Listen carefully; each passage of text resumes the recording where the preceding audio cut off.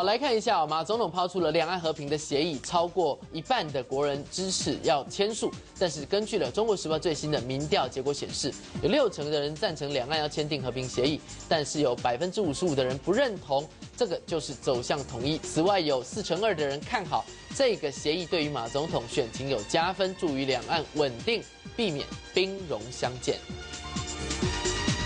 好另一个政党